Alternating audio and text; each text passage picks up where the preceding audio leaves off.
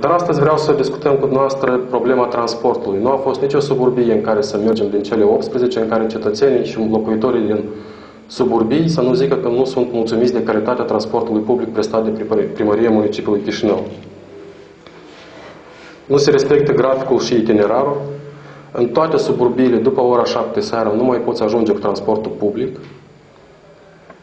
Dimineața și seara transportul este mult prea aglomerat în anumite suburbii, pentru că rutele sunt mult prea lungi și atunci când ajunge la un anumit punct, deja oamenii nu mai pot urca în unitatele de transport.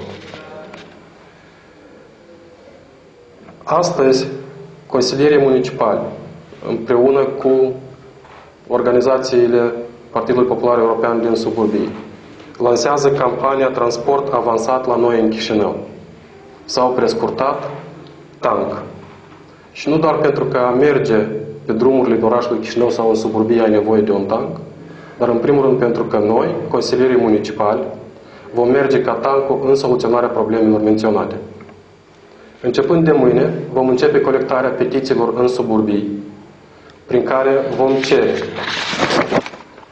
respectarea strictă a graficului de circulație a microbuselor pe rute și a autobuselor în suburbiile municipiului Chișinău, conform programului prestabilit, în special după ora 7 până la ora 11 seara.